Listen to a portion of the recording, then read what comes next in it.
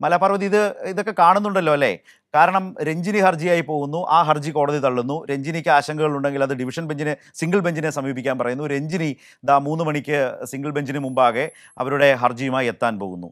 സർക്കാരാവട്ടെ മുൻപ് തന്നെ പറഞ്ഞു ഇത് റിപ്പോർട്ട് പുറത്തുവിടാം എന്ന് പറഞ്ഞു. കോടതിയുടെ നിർദ്ദേശാനുസരണം രണ്ട് മുപ്പതിനും ആ റിപ്പോർട്ട് പുറത്തുവിടാൻ തയ്യാറായി സർക്കാർ ഉദ്യോഗസ്ഥർ നിൽക്കുകയും ചെയ്യുന്നു ഇങ്ങനത്തെ ഒരു അന്തരീക്ഷത്തിലാണ് ഇതിപ്പോൾ നിൽക്കുന്നത്.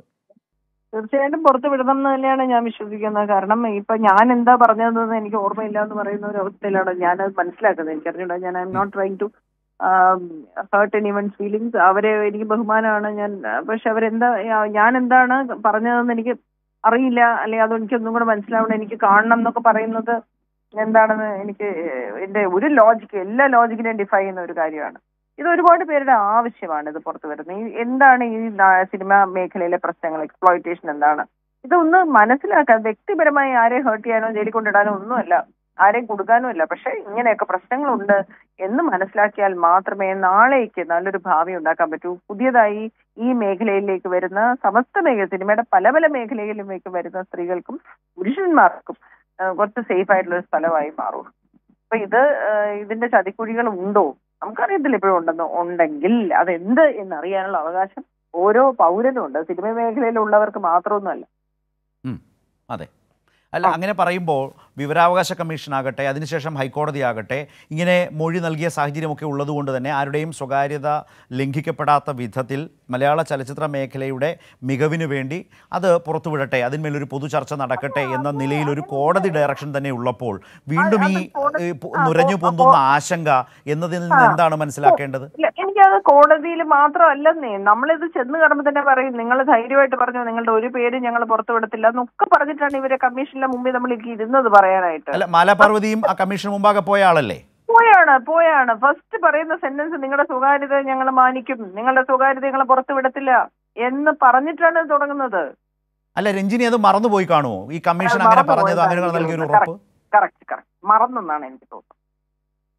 ആ മറവി എന്ന് പറയുന്നത് പക്ഷേ പൊതുസമൂഹത്തിന് അങ്ങോട്ട് ദഹിക്കാത്തതും കൂടിയാണ്. തീരെ തീരെ ദഹിക്കുന്നില്ല. എന്താണെന്ന് അറിയത്തില്ല. നമ്മളത് നമുക്ക് എത്രയും പെട്ടെന്ന് കോടതി ഇത് പുറത്തുവിടും അല്ലെങ്കിൽ സർക്കാർ ഇത് പുറത്തുവിടും. സർക്കാരിന് അതിന് പിന്തുണയുണ്ട്. ഒന്നോ രണ്ടോ പേരുടെ സജി പാറയിലും രഞ്ജിനി മാമിനും ഒക്കെ തോന്നുന്നത് എനിക്ക് മനസ്സിലാവുന്നില്ല. പക്ഷെ പൊതുസമൂഹം സർക്കാരിനൊപ്പമാണ് സർക്കാർ അത് പുറത്തുവിടണം. എന്തെല്ലാം കാര്യങ്ങൾ ബോൾഡായിട്ട് തീരുമാനം എടുക്കുന്ന സർക്കാരാണ് ഓക്കെ. നന്ദി മാല പാർവതി ഞങ്ങളോട് ഈ സാഹചര്യത്തിൽ. കാരണം അവർ പറഞ്ഞ ഒരു പ്രധാനപ്പെട്ട കാര്യമുണ്ട്. കമ്മീഷന് മുമ്പാകെ ഈ കമ്മിറ്റിക്ക് മുമ്പാകെ മൂന്ന് പേരാണ് ആ കമ്മിറ്റിയിലുണ്ട്. ജസ്റ്റിസ് ഹേമ അതുപോലെ വിഖ്യാത ചലച്ചിത്ര നടി ശ്രീമതി ശാരദ അതുപോലെ തന്നെ മുൻ എ എസ് ഉദ്യോഗസ്ഥയായിട്ടുള്ള ശ്രീമതി കെ ബി വത്സലകുമാരി. ഇവരെല്ലാം അടങ്ങുന്ന ആ കമ്മിറ്റിക്ക് മുമ്പാകെ ഇവരെല്ലാം ചെല്ലുമ്പോൾ ആ കമ്മിറ്റിക്ക് മുമ്പാകെ പോവുകയും സംസാരിക്കുകയും മൊഴി നൽകുകയും ചെയ്ത മാലാ പാർവതി തന്നെ പറഞ്ഞത്. ഞങ്ങളോട് ആ കമ്മിറ്റി ആദ്യം പറഞ്ഞത് യാതൊരു ഭയാശങ്കകളും വേണ്ടതില്ല. നിങ്ങൾ പറയുന്ന കാര്യങ്ങൾ അതിന്റെ അത് അത് രഹസ്യാത്മകമായി സൂക്ഷിക്കും.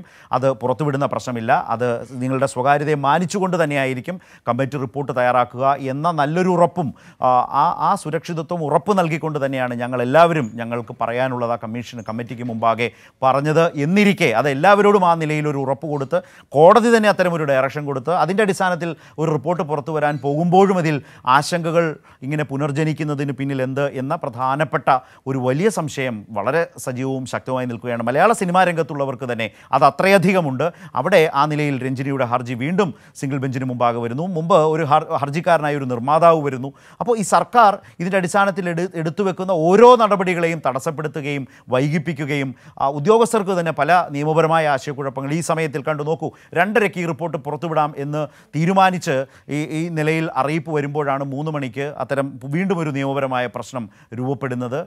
അങ്ങനത്തെ ഒരു ഒരു വല്ലാത്ത ആശയക്കുഴപ്പം സൃഷ്ടിക്കുന്നു. നിയമപരമായി തന്നെയാണ് ഇതിനൊക്കെ പരിഹാരം കാണേണ്ടത് നിയമപരമായ ഉപദേശത്തിന്റെ അടിസ്ഥാനത്തിൽ തന്നെ സർക്കാരിനും ബന്ധപ്പെട്ട വകുപ്പുകൾക്കും ഉദ്യോഗസ്ഥർക്കും മുന്നോട്ട് പോകേണ്ടതായി വരും. മൂന്ന് മണിക്ക് രഞ്ജിനിയുടെ ഹർജി ഡിവിഷൻ സിംഗിൾ ബെഞ്ച് പരിഗണിക്കും. പക്ഷേ അപ്പോഴും ഓർക്കേണ്ടത് രഞ്ജിനി വളരെ പ്രധാനപ്പെട്ട ആവശ്യമായി ഉന്നയിച്ചത് ഈ റിപ്പോർട്ട് പുറത്തുവിടരുത് എന്നുള്ളതായിരുന്നു. ഹേമ കമ്മിറ്റി റിപ്പോർട്ട് പുറത്തുവിടരുത്. അത് ഡിവിഷൻ ബെഞ്ച് തള്ളി. അതേ അതുകൂടി മനസ്സിലാക്കിക്കൊണ്ടാണ് സാംസ്കാരിക വകുപ്പ് ഉദ്യോഗസ്ഥർ ഇൻഫർമേഷൻ ഓഫീസർ കോടതി വിധി മാനിച്ച് നടപടികളുമായി മുന്നോട്ട് പോകുന്നത്. ഈ ഘട്ടത്തിലാണ് നമ്മളിപ്പോൾ നിൽക്കുന്നത്.